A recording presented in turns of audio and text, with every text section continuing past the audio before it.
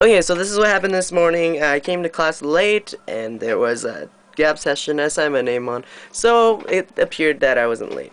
And then I had lunch with Winnie. Um, yeah, I don't think I did anything in between that. Oh yeah, I paid my uh, tuition, uh, $790 of tuition that I had left over, and I paid it off with a credit card.